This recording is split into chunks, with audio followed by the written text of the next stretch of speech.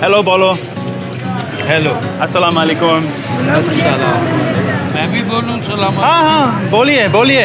आइए आइए।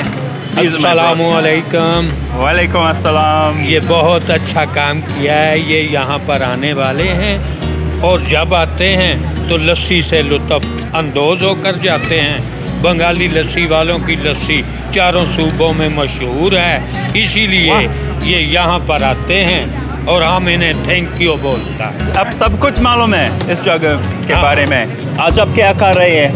मजदूरी करता हूँ इधर एक जंग उतारने वाली बेचता हूँ इधर। ये अच्छा। आप लस्सी पियेंगे? मैं आपको खरीदूँगा। पियेंगे ना? लस्सी पियेंगे? नहीं नहीं। भाई एक और। Half half half. नहीं नहीं पूरा।